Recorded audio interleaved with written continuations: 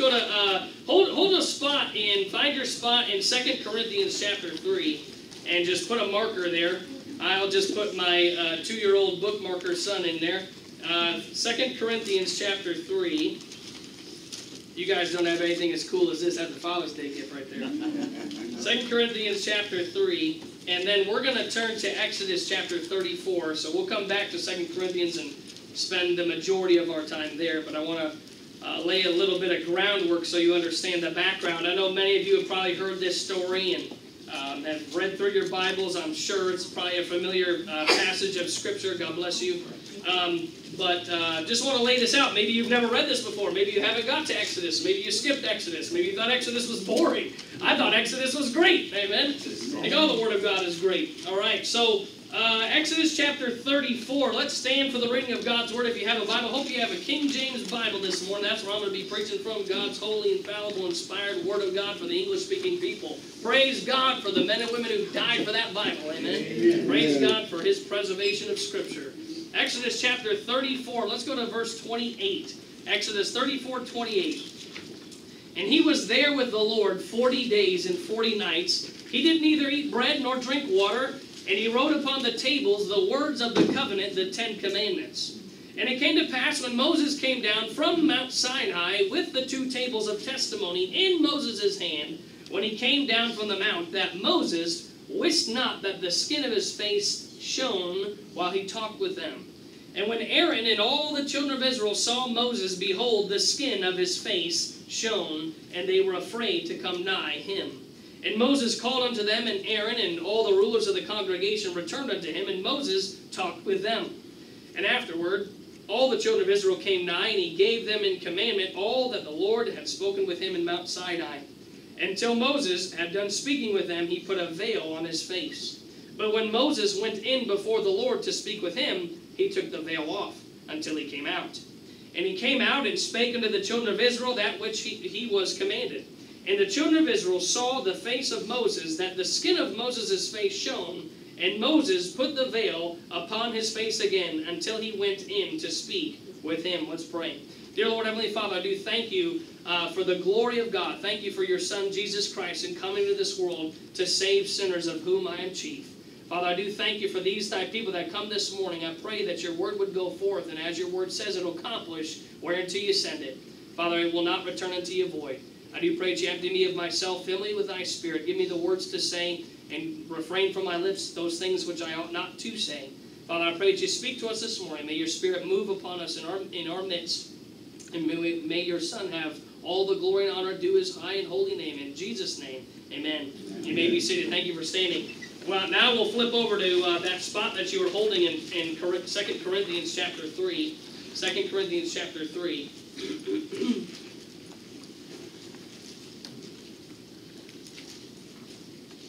Thank you for turning there, and thank you for standing.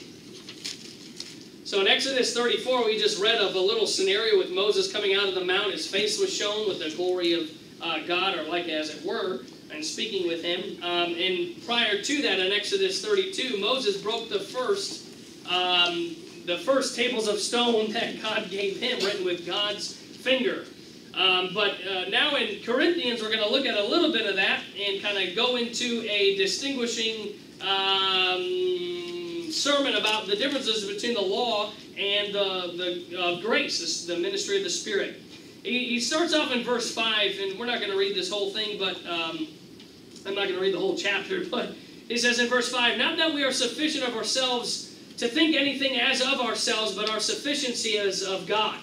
And folks, I can assure you that God's not looking for some big one to fulfill uh, a, a, ministry somewhere. He's not looking for a big shot. He's not looking for a big somebody because if he did that, he wouldn't use me and he wouldn't use you. Amen. Amen? Well, what do you mean? Uh, God chooses the weak things of this world for his servants to serve him. Amen. Amen. Uh, I find often as a pastor that people who are struggling with the most things, the most joyous people, things who have the most hardships in life, and that they can give any excuse in the world to not do something for God, those are the ones who are serving God. Amen. Well, I'm not saying, you're, Pastor, you saying that I have to have a broken leg to serve God? No, no, no. I'm just saying that the majority of people uh, that, ha- that are serving God are those who have some kind of pain or ailment uh, in that aspect. Uh, go to uh, uh go flip back over to 1 Corinthians chapter uh, 1. You'll see what I'm talking about. 1 Corinthians chapter 1, look at verse uh, 26. Says, For you see your calling, brethren, how that not many wise men after the flesh, not many mighty, not many noble are called, but God hath chosen the foolish things of the world to confound the wise, and God hath chosen the weak things of the world to confound the things which are mighty, and base things of the world, and things which are despised, hath God chosen, yea, and things which are not, to bring to naught the things that are. Why? Why did he do those things? That no flesh should glory in his presence. Amen. Now back over to 2 Corinthians chapter 3. Say, we're turning this is like a Bible study this morning. Well, slow down, keep your fingers hot. 2 Corinthians chapter 3, look at verse 6. Uh, uh, back at verse 5, in that last uh, several words there, it says, But our sufficiency of, is of God. He's not uh, being sufficient in of uh, himself, is thinking he's anything. He's saying, Look, everything that we're doing, this ministry that we're doing, I'm writing this letter to you. My sufficiency and our sufficiency is of God. He says, Who hath made us able ministers of the New Testament, not of the letter, but of the Spirit. For the letter killeth, but the Spirit giveth life. Amen. Not of the letter, what is that speaking of? The law, but of the Spirit of grace, the new covenant, the New Testament. Uh, the law condemns us, does it not? Paul would tell us that in Romans. Uh, the law says that you and I are guilty sinners. Uh, when I come to, I wouldn't know what sin was had not the law been there to tell me what it was. Amen. But the Mosaic law never gave life. It never had any life in it. It didn't have life-giving properties in it. It was a way of life, not a way to life. Right. Please remember that. It was not a way of life. It was but a, a, a way. Uh, it was a way of life, but never a way to life. Amen. Uh, the law never saved anyone. The law is a killer. It condemns you. Amen. Amen. It slays us as guilty before God, as wretched sinners that we are or once were, so that we can be resurrected by a new testator, by a new testament. All right. Now, verse seven, he says, "But if the ministration of death, written and engraven in stones, was glorious." So that the children of Israel could not steadfastly, here it is, behold the face of Moses for the glory of his countenance, which glory was to be done away. And he's not done there, he's speaking, but we're going to take our time in verse 7 here. He says, the ministration. What is that? That means the attendance as a servant, or what a minister ought to be, a pastor ought to be, a deacon, and deacon's wife ought to be, uh, what a Christian ought to be as a bondslave to the Lord Jesus Christ. Amen. Amen. But he's saying the, the service of that, so now he's making a distinction, a comparison, if you will, between uh, the law of Moses and this ministry of the Spirit. And so it's classified here in verse 7 as what? The ministration of death, is what it says. And, and we know that that's the law of Moses. Uh, how do you know that? Because he continues on, he says, written and engraved in stone. Okay, class, what was written and engraved in stone? The Ten Commandments. Exactly, that's what it is. So he could not steadfastly behold the face of Moses for the glory of his countenance, which was to be done away. God's law is absolutely holy. Amen. Amen. His law is absolutely holy, and I'm not going to disparage the law. Uh, the dispensation of the law had its own glory. Amen. Amen. Romans 7:12, Paul says, Wherefore the law is holy, and the commandment holy and just and good. And so, in the midst of this glory, uh, Moses was wrapped up. His face was covered of it. Uh, he was the mediator of that covenant. Amen. You know, I, I was asking my wife yesterday, I said, you know, Moses walked down and had the law of God written with his hands uh, to give to the people. But what was going on with the people? They were breaking the first two, Amen. having other gods and worshiping other gods and making other gods out of gold and raising up the golden calf. And he did, and he came down and he broke those. Why? He couldn't go into the camp because they'd be consumed with the law. The law's a killer. Amen? So he had to go back up and intercede and said, Don't destroy him. He had to intercede and he had to write the law and then go give it to him. That's interesting. Amen? You're like, I don't know where you're getting at, Pastor. I know, I just, I guess I think too much. I don't know. Uh, but anyway, the, the uh, Moses is in there. He's wrapped up. His, this glory is being covered. Um, and when he came down off the mountain the second time with the tables in his hands, um, the skin of his face, it shone uh, as if the glory of God and that covenant was reflected in it. They, they were afraid to come unto Moses because of his face and it was shining. And the shining of his face, Paul says here in verse 7 that um, It was the glory of his countenance. And that was the reflection of the glorious God, uh, the glory of God as seen in his face in spending time with God in 40 days in that mount. And he says here that uh, there is a kind of glory about the Old Testament. There's nothing wrong with the Old Testament.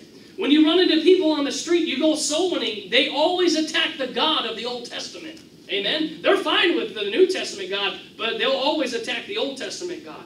There's nothing wrong with the Old Testament. Can I get an amen? amen. Some, some of y'all are like, oh, oh, I hate the Old Testament. I love the Old Testament. That's primarily what I preach out of.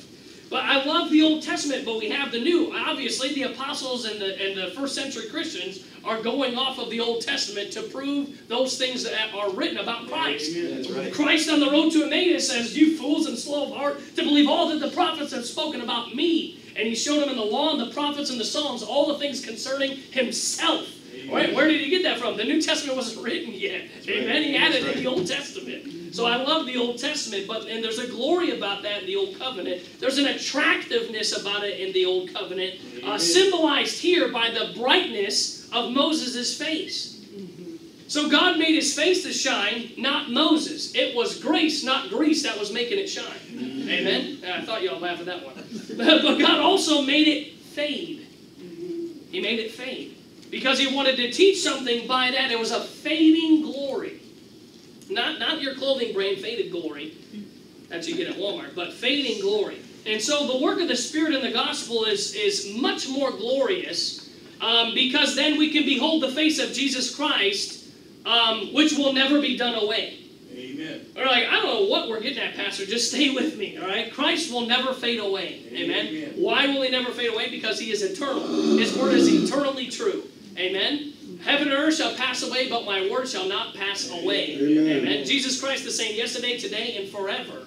Amen. And so now he's saying, um, when he's saying the glory of his countenance, which glory was to be done away, was to fade away. It was never to stay. The, the, the, the thing that God set up in, the, in what he set up in the sacrifices was always a picture of something. It was never meant to bring anyone to God. Amen. It was just His way and, and His means of uh, people bringing it, and His grace of thereby, because nothing is uh, nothing can be covered without the shedding of blood. Amen. Amen. Without the remission, uh, or without the shedding of blood, there is no remission of sin. Amen. And it was a picture of something that would come, and it was to be done away, the glory, and Moses' face was shining, and that veil is coming over to show that it was a fading glory. Number eight, or verse eight. How shall not the ministration of the Spirit be rather glorious. So he's giving a, a, a, a comparison here between the ministration of death and the ministration of the Spirit.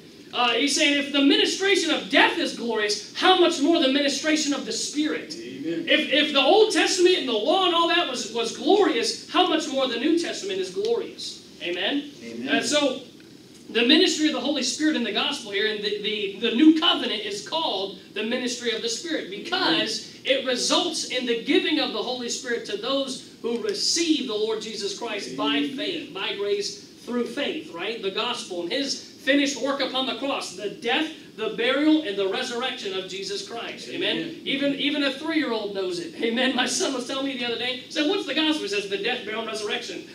How does a three-year-old know that? But we have some Christians that have been in churches who think they're saved. I shouldn't say Christians. Christians who think they're saved don't even know the gospel. Uh, we have Christians in, in, in, our churches that, that, that, that can't even go out on the street and witness to somebody, and they say, What saves you? We'll say this prayer real quick. Well, make sure you cry a lot for repentance. Well, make sure you change, you, you know, you, you get morally right and, and come to Christ and accept Him as Lord and Savior. They have no idea what you're talking about. Amen. It is the death, burial, and resurrection of Jesus Christ. Amen. It is all the work of God. It's not of our work. Amen. Right. It's all of God. It's His work and His death, His burial, and His resurrection. So if the law is glorious as it's shown as Moses' face did, which was to be done away, not the law, but the glory of the law, Amen. right? How shall not the work of the new covenant be more glorious? It is more glorious. Why? Because of Christ. It all pointed to Christ. It's more glorious because of Him. Amen? It's all that, right? Stay with me, people. I know you're looking at me like sheep deer in the headlights. For if the ministration of condemnation be glory, much more doth the ministration of righteousness exceed in glory. So he's kind of saying the same thing. You're like, what's the, what, I don't get this. The ministration of condemnation is the law. There is therefore now no condemnation to them who are in Christ Jesus, Amen. who walk not after the flesh but after the Spirit. Amen. The, the condemnation does not come from God. Condemnation comes from the devil. Amen. Amen. Condemnation can come from God's law in, in, in, in what? In telling you, hey, you're a sinner. You're condemned to die. Amen. Amen. For God sent not his Son to the world to condemn the world, but that the world through him might be saved. Praise the Amen. That's why God sent his Son into the world, right? Why? Because he loves the world. Amen. Amen? He loves the world. So i- i- it's this. What, what is the ministry of, of condemnation? Verse 9. The ministration of condemnation be glory. It's everybody who tries to live a life that's pleasing to God uh, by self effort always discovers uh, that they'll never quite make it because they never know that they have done enough. They'll never know if they've done enough. Amen. Right? I ran into a lady the other day and I said, You going to heaven when you die? She's like, I don't know if I've done enough. You don't have to do anything. It's Jesus Christ and Him crucified. That's it. I was like, if you trusted on the Lord, that's it. I'm secure in that. Amen. Right? Amen. All right, a couple of y'all agree with me. It's it's Jesus Christ. Amen. I'm secure in Jesus Christ. If I'm in Christ, right? Uh, for for uh, what was what did Paul tell Timothy? He says, "For I know whom I have believed, and am persuaded that he is able to keep that which I have committed unto him against that day." He's like, I don't, I don't, I don't, I'm persuaded. I'm fully persuaded that it's always of Christ. It's always been of God. Right? Go to Hebrews chapter 10 real quick. Hold your spot there in 2 Corinthians. Hebrews chapter 10. You're like, we're jumping everywhere. I know. You guys aren't excited. I am. That's all right. Hebrews chapter 10. Hebrews chapter 10. Hebrews chapter 10. Jump down to verse 4. The ministration of condemnation. That's the law. That is that is uh, someone trying to do everything in their own works. Okay. Hebrews chapter 10 and verse 4 says, For it is not possible that the blood of bulls and, uh, and of goats should take away sins. But yet there's people today that believe that the blood of bulls and goats can take away sins. Amen. Because you're justified by the law. No, you can't be justified by the law. Paul would make that evidently practically clear. He says, Wherefore, when he cometh into the world, he saith, Sacrifice and offering thou wouldest not, but a body hast thou prepared me. In burnt offerings and sacrifices for sin thou hast had no pleasure. Then said I, Lo, I come. In the volume of the book it is written of me, to do thy will, O God. Above when he said, Sacrifice and offering and burnt offerings and offering for sin thou wouldest not, neither hadst pleasure therein, which are offered by the what? Law. Then said he, Lo, I come to do thy will, O God. He taketh away the first, that he may establish the second, by the which will we are sanctified through the offering of the body of Jesus Christ. How often? Once for all. Once for all, O sinner, receive it. Once for all, believer, believe it. Amen. Amen. That's what it is. Once for all, Christ did it on the cross. He says, You don't have to have any more sacrifice for sin. He taketh away the first and he receives the second. You know, Christ rejects your first birth, but he accepts your second one. Hallelujah. Born it again did. Amen. That's what I'm talking about. The ministration of condemnation is the law. The, the law could do nothing to get anybody saved. And, and so much more, uh, go back to 1 Corinthians. I'm going too fast. 1 Corinthians chapter 3. Or sorry, 2 Corinthians chapter 3. Wherever the preacher told you the first time to go, go there. All right. 2 Corinthians chapter 3, verse 9, he says, For the ministration of condemnation be glory. If that's glorious, much more doth the ministration of righteousness exceed in glory. Amen. Right? The Old Testament, the law, that's great. It had its own glory. But now the ministration of righteousness exceeds in glory. Amen. And Paul's making a, a- a distinction here. If you look, uh, I don't want to take too much time to look at it, but maybe quickly. Verse 7, it says, but if. Verse 9, for if. Verse 9 in the, in the second part, much more. Verse 10 says, for even. Verse 11 says, for if, and then much more. There's a, there's a distinction, there's a, there's a contrast being dealt here uh, by, the, by the Apostle Paul and saying, look, if it's this way and it was glorious here, much more it is in the new. Amen. If it's glorious in the old, much more it is and exceedingly abundantly in the new, right? Much more describes uh, from the lesser the fading glory of the law. Amen? The fading glory of the law to the continually superabounding glory of the gospel.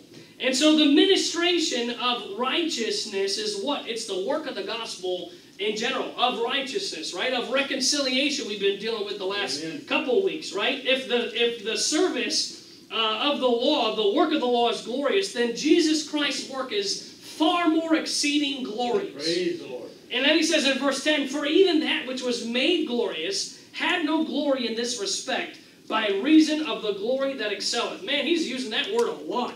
Amen. The Amen. law of Moses was glorious. Pastor, I get it. Do you get it? I want you to leave here knowing this. The law of Moses was glorious. Amen. Amen. But in comparison to the gloriness, the glory of Christ, it is as if the law has no glory. And it, it pales in comparison to the Amen. glory of Jesus Christ. Amen. The glory of the ministration of the Spirit for Christ is what? He's far above everything else. He's far above principalities and powers. Amen. Amen. They're subject unto him. Why? Why? Why is the ministration of righteousness far more exceeding uh, than the law? Because the Spirit draws us to Christ, and Christ's job is to draw us and make us back united with God. Amen. That's why it's far more glorious, because the law couldn't do that, but Christ can. Amen. And he did it once and for all. Amen. There remained no more sacrifice for sin, for sins, excuse me. And it's the glorious gospel of the blessed God. And it's a very, uh, uh, the, glo- the, the glory of the grace of God is fulfilled in the ministration of the Spirit of the God. Amen. Amen. Praise God. It's, a, it's, it's glorious indeed. Right? Now, just for illustration purposes, the moon, the moon shines bright, does it not? The moon shines bright. What is that song in Texas? The stars at night. The stars at night are big and bright. Where? Deep in the heart of Texas, right? Who's from Texas? Anybody from Texas? All right, praise God. All right. So, I'm not from there. That's all I. But anyway, the, the moon is just as bright uh, as the sun. But once the sun comes up, the glory of the moon is gone. Amen. That's what we're talking about here. It's a fading glory. I hope that makes sense. Like I, I don't understand that one. It- it- it's its brightness of the moon is completely set apart in comparison to the sun. Amen. The sun is the greater light, right? Paul, or God would write and, and uh, uh, give us to us in Genesis the greater light to rule the day, the lesser light to rule the night. Now you already know the difference, right? It pales in comparison of the light and the brightness of the sun. And so the brightness of Moses' face revealed the splendor of his ministry. It was a glorious ministry, right? Thank God for the law. We have it. But when we compare it with the ministry which proclaims the, um, uh, the righteousness for men whom the law condemns, what do, what do we say then? It, it imparts it, it imparts not letters written in stones, but the abiding presence of the lifeblood, the life-giving Spirit. That glory of the former covenant then fades utterly away. Why? Because it's done away in Christ. Amen. Christ is the new covenant. He's the testator. Amen. Here's the New Testament. That's right. And so, uh, and, and, and- we think only of the uh, greater splendor of the ministry of the new covenant Jesus Christ because we're New Testament saints. We don't focus too much on the law. Why? Because we're saved by grace. Amen. Amen. We're saved by grace. We're kept by grace. Amen. We're brought through by grace. We're growing in grace. Yes. We're growing in the knowledge of God and our Savior, the Lord Jesus Christ. Yes. And now, verse 11, he says, For if that which is done away was glorious, much more that which remaineth is glorious. Like, man, Paul is really hitting on this. Yeah, he wants you to know thrice times over of a thrice holy God how glorious his ministration is. Amen. He says, It is glorious, it's exceeding glorious, it's superabounding glorious. This new ministration of the Spirit is far surpassing the glory of the law. Amen. No glory of the old covenant. Why? The law is a mirror. Amen. The law is a mirror. It's not, it's not a bar of soap. You can't get clean through the law. You look at the law and you say, Man, I'm dirty, I need a shower, right? You get home from work, I'm dirty, I need a shower. I just got back from the office. I'm dirty and I need a shower. Whatever it is, you're dirty and you need a shower, amen? We look in the mirror to see the condition of our countenance, do we not? Right? And the, the law shows us that we're sinners. Right? I, I tell my boys, they're only uh, five, seven, and eight years old. I say, what's the first thing that people need to know so that they can come to Christ? They need to know that they're sinners. Amen. But in love, obviously, condemning them and pointing your finger, "Yeah." they need to know that they are standing before a holy, holy, holy. What is that? The angels say, separate, separate, separate from sin God. And you can in no way approach God in your own merit. You have to come to the Lord Jesus Christ. And if you don't know you're a sinner, then you'll never need to have God in your life. Amen. You'll never, you'll never care about Jesus Christ because He is the Savior of the world and not for our sins only. He's the propitiation and not for our sins only, but for the sins of the whole world. 1 John 2 Amen. 2. Amen. So it's not a bar of soap. The law is a mirror, right? I need a makeover. I need a shower. I'm dirty. The law is not a surgeon. It cannot remove cancer. The law simply gives us the diagnosis of the state of man. What? That you are so far a sinner and so separate from God that you need a Savior. Amen? That is, that is the Lord Jesus Christ. And so the office of the law is to, to show us the disease, is to show us the sin in such a way that it shows no hope.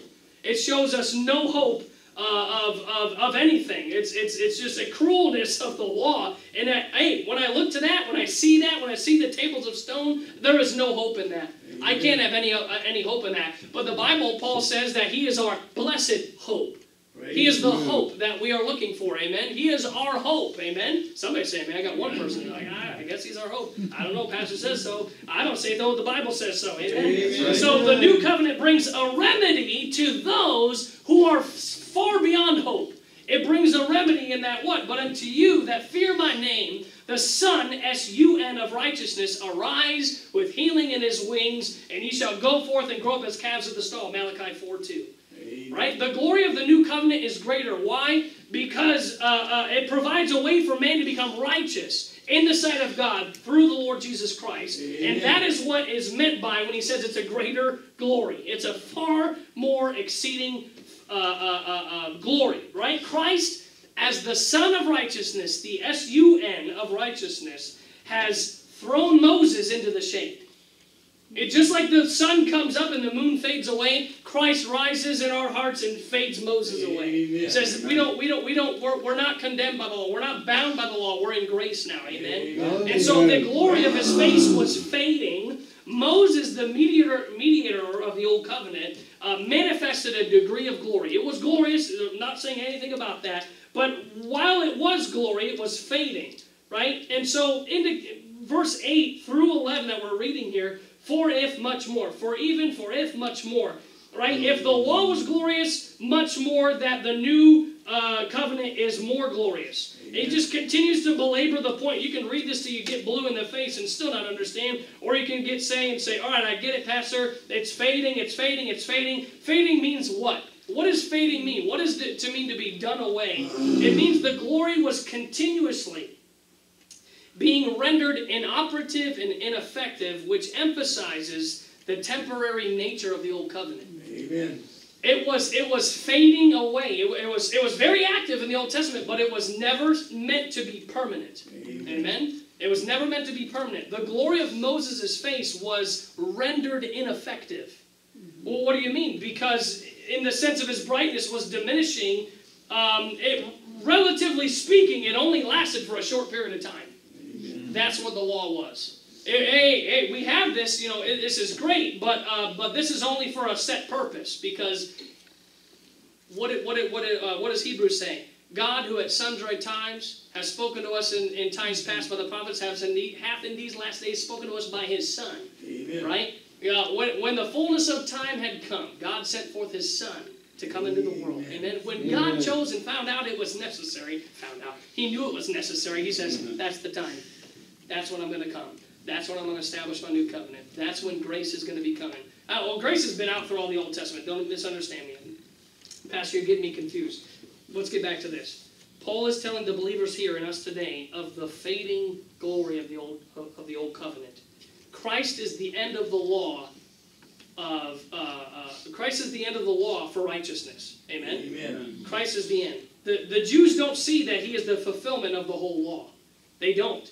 Uh, that comes from their, their Bible, the Talmud, and all those things. But Paul says this in Philippians 3 9, and being found in him, not having mine own righteousness, which is of the law, but that which is through the faith of Christ, the righteousness which is of God by faith. Amen. Right? He would list his pedigree and says, "Look, if anybody, if anybody can boast in works, I'm more." He says, "I'm circumcised the eighth day. I'm a Jew of the Jews. Right? I'm a, I was born of the tribe of Benjamin, a Pharisee of the Pharisees. I had it all, man. It was good. I was of the law. No, not, not even at one point have I offended in any of the law. He was just going and going and going. He says, "But what things were gained to me? Those I counted lost for Christ. Amen. Amen. I counted those things but dung." So the civil law is done away, right? Jews and Gentiles are now one. We're grafted into the tree. Amen. The body of Christ, the mystery of the body, right? But the ceremonial law is set aside No more Sabbaths, no more, no more moons, uh, no more uh, feasts, no more sacrificial system. The temple's destroyed. Uh, no more sacrifices. That's all done away with. And you need to be careful. If you haven't heard of this group, it's called the Hebrew Roots Movement. And they want to bring Christians back into the law, and they tell you, oh, well, you know, Paul didn't mean this, and there's an attack on Paul like ever before. Amen? Mm. There's an attack on Paul. So, look, I mean, if you want to look into it, do a little study on it. I just barely heard of this recently, the Hebrews Hebrew roots movement. I'm sure it's kind of old. It's just something else packaged up in a new name. That's it. Amen. Something old packaged up in new wrapping paper. So the moral law is repeated and recited in the New Testament, is it not? Amen. The ceremonial law isn't, but the moral law is. Why? Because it's written in your heart. Amen. Right? And Romans 2.15 tells me the meanwhile, while we're witnessing to someone, the meanwhile, their thoughts accusing him or else excusing him of their behavior before God. Amen. So the law is written on their hearts. Amen. There's a moral law. What is it wrong to kill children? Yes. yes. Amen. Is it wrong to kill babies? Yes. Is it wrong to rape women? Yes. Is it wrong to molest children? Yes. Amen. Is it is it wrong to be a homosexual? Yes. Yeah, amen. And so, uh, how do we know those things? Because something inherently inside of us, the law of God is written on our hearts, and we know that there's a God. Right? We have general revelation. We can look out in the in the universe and see the hand and crafty work and the mightiness of God, and then we get God has given us His Word and given us special revelation so that we can know Him personally. Amen. Right. And so, how do we know that? The moral law is reiterated and brought before the sinner to show him his sin. It's to break the sinner's back and say, I give up, it's all Christ. Yes. It has to be all Christ. Uh, but if the old covenant was by itself, if, if it was just the old covenant by itself, it would be absolutely useless. Amen. What do you mean? Uh, because even the, the, the reflection of the holiness of God was useless to save, i.e., Moses' face.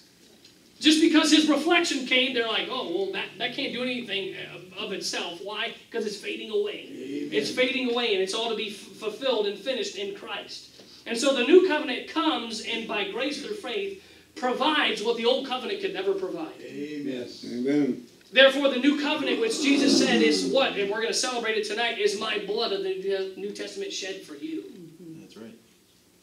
And as often as you drink this cup and eat this bread, you do show the Lord's death till he come. Amen. So what do you mean? This new covenant uh, is eternally superior to the old covenant. Amen. Look at verse 11 one last time. For if that which is done away was glorious, much more that which remaineth, uh, uh, uh, that which remaineth is glorious. The new covenant, the good news, the gospel of grace, the ministry of the Spirit, the ministry of righteousness. When he says remaineth, which remaineth. It means to abide. It's the present tense of that word, meaning what? Even now. He doesn't say uh, uh, much more that which remained is glorious. He says remaineth. Even unto this day, it is remaining something that is set uh, in the in, in the heart of God. Right? It indicates the glory of the new covenant is never ending. The New Testament is never ending. Amen. And, and look, you can amend the Constitution, can we not? We have amendments to the Constitution. Mm-hmm. Like I don't know history. Uh, we can you can amend the Constitution. You can replace uh, old concepts for new concepts. Uh, you can update the, the justice system. Absolutely, it needs updating. Um, but this new covenant right here that was fulfilled as Christ does not need to be replaced. It does not need to be updated. It does not need to be amended. It is fully accomplishes all of God's redemptive objectives. Amen. And through Christ, men and women can trust in Him and be saved. Amen. God has made it made it abundantly clear to the Jew first and also to the Greek repentance towards God and faith toward the Lord Jesus Christ. He says, "Well, how, how, did the Jew have a chance? Did the Jews have any chance? Go to uh, if you have the time to turn there, go to Jeremiah chapter 31. I don't have the time, so Bob is going to go there anyway. Jeremiah 31, verse 31. Just listen if you can't find it quick enough. Behold, the days come, saith the Lord that what? I will make a new covenant with the house of Israel and with the house of Judah, not according to the covenant that I made with their fathers in the day that I took them by the hand to bring them out of the land of Egypt, which my covenant they break, although I was an husband unto them, saith the Lord. But this shall be the covenant that I will make with the house of Israel after those days, saith the Lord. I will put my law in their inward parts and write it in their hearts, and I will be their God, and they shall be my people, and they shall teach no more every man his neighbor and every brother, saying, Know the Lord, for they shall all know me, from the least of them unto the greatest of them, saith the Lord, for I will forgive their iniquity and I will remember their sin no more. So, Ah, they didn't have a chance. The Jews did have a chance, but they rejected Amen. Christ. Said, His blood be upon us and our children, and now it's open up to the Gentiles. Praise God. Amen. Amen. Praise God for that. Right? Jesus, Jesus says, Look, I think not that I am come to destroy the law and the prophets. I'm not come to destroy, but to what? Fulfill. I've come to fulfill. And, and, and we'll, we'll get an understanding, you know, we'll get new understanding of the richness of the gospel in Christ. Amen. We'll, we'll continuously grow. We'll get that understanding of the richness of the gospel as we grow, but we'll never get beyond the gospel. Amen. Why? Because there's nothing beyond the gospel. Amen. Amen. That is it. That is that is what God has chosen. There's nothing beyond the New Testament. Why? There's nothing beyond the New Testament. Why? I can't, you know I can't help but think that Paul, when he's writing these, when he's writing this stuff, he's saying, "For if this, but much more this," and uh, I can't help but think that Paul is talking about himself, right? He's looking back at the days when he was going to his pedigree, when he was uh, counting on his background, his skill, his dedicatedness of his heart, right? He says, I, I'm jealous for you, Lord. That's why I'm going to kill Christians. And he says, Who art thou, Lord? He says, I'm Jesus whom thou is whom thou is persecuting. Right? He says, You're persecuting my body. That's me you're doing that to. He says, Amen. Oh Lord, what would you have me to do? Amen. What would you have me to do? And Paul's looking back and says, Look, those things that I count that were gained to me, those I counted loss for the excellency of the knowledge of Christ. Those things that I, I, I- gained, I count them but dung that I may win Christ. He Amen. says, Those things that I, I thought I could get to heaven by my background, by my skill, by my heart, uh, when I was under the old covenant of the law, the ministry of death, the ministry of condemnation, he's saying, Look, I've come now to understand that God does the work. God is at work in me and so much more than I could ever have done. Yes. Amen. Uh, I understand that Christ's work is in me is so far more effective beyond anything that I could ask or think, Praise and that all the glory that I thought I had done is nothing but dung compared with the glory of God at work in me. That's all it is. For it is God which worketh in you both to will and to do of His good pleasure. Amen. Amen. The old covenant of the law has lost its splendor. Not fully, but it's lost its splendor. And I know that even, Paul's saying, I know that even in my weakness, God is able to work through me, and that's what I count on. What are you talking about? Back in verse 5. Not that we're sufficient of ourselves to think anything of ourselves, but our sufficiency is of God. He says, I, I, I can't count on those things that I was raised up in. I can't go back to my degrees, right? I, I don't care how many things you got after your name, right? I'm a C-H-R-A-S-T-I-A-N. Amen. That's all I need. Amen. But Paul's saying, look, I, I, the, the weakness that is in me, God is able to work through me, right? He says, You're, when, when I am weak, then I'm made strong. Amen. Right? My grace is sufficient for thee. I'm not sufficient in the things that I thought I was sufficient in. Why? My sufficiency is of God. He's defending his apostleship. Over and over again, he has to do this. He says, Look, I'm, I'm not coming to you with bold words and big words. He's like, but in very plainness of speech in verse 12. Because why? He has that great hope. What happens as a result is, is far more thrilling and adventurous when I allow God to do the work, when I'm not trusting in all this other stuff, but just having my sufficiency in Christ. What happens as a result is far more thrilling and adventurous than anything that ever happened before. Amen. That's what Paul's saying. He says, Every, everything that I thought was great and adventurous, it now is done away in the old, it's come into the new, and God is using me for who I am, not because of what I could do for Him. He loves you for who you are. Amen. Oh, I got to do this for God. Oh, I got to do that for God. No, you just need to be faithful. Amen. Be found as a steward, and moreover, it is required in stewards that a man be found faithful. That's it. Just be faithful to God. That's what He wants you to be. It doesn't matter if you do this or have these have these degrees or anything, right? We don't we don't have to have a big slide uh, as big as the neighbor slide. We have a little slide that's just as good, ain't it?